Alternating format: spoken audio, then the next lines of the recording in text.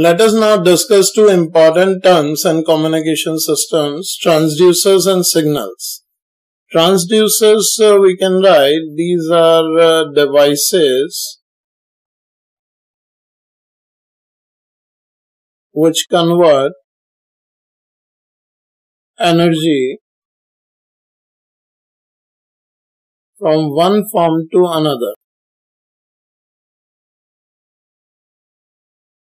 When we talk about a typical communication system, we have studied that a communication system channel requires a signal or an information to be in electrical format. When we talk about uh, the information, this information can be in form of uh, print or uh, voice or video then the information is first fed to a device we call transducer. This transducer gives an output which is an electrical signal. The signal is the electrical form of the information which is fed to the transducer and transducer converts this print, to voice or video form of a signal into the electrical form which we term as a signal. A signal is an electrical form of information or information in electrical form. We can write about electrical signal. It is the information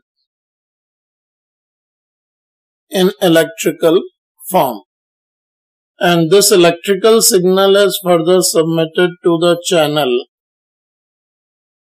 which can be transmitted to the receiver and finally the receiver can again supply the electrical signal to another transducer which converts this electrical signal into the understandable form and finally it is uh, delivered to the information receiver. So this is the way how information is supplied. The very first thing is the information in the human readable or understandable form is given to the transducer this transducer is a device which converts the information into a signal, which is uh, the information in electrical form, which can be transmitted over the channel.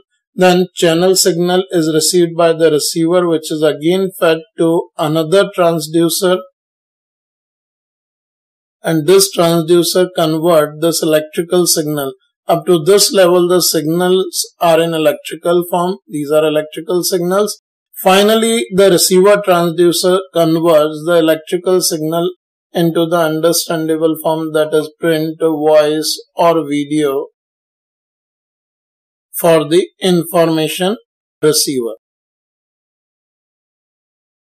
Now, here a transducer can be different type of devices like uh, you can say a mic can be a transducer which converts voice signal into electrical signal a transducer can be a camera which converts a video signal or a picture into electrical signals. It can be a keyboard. It can be a fax machine through which uh, it can be converted into electrical signal. Similarly, here transducer which is converting uh, the electrical signals into the understandable form can be a speaker which converts electrical signal into sound signals. It can be a screen.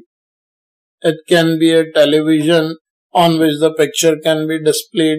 It can be a monitor or a, printer which can convert the electrical signal into the understandable form. So transducers play an important role in the overall communication system because using transducer only we can convert understandable form of information into electrical form and electrical form into finally understandable form at the level of transmitter and receiver.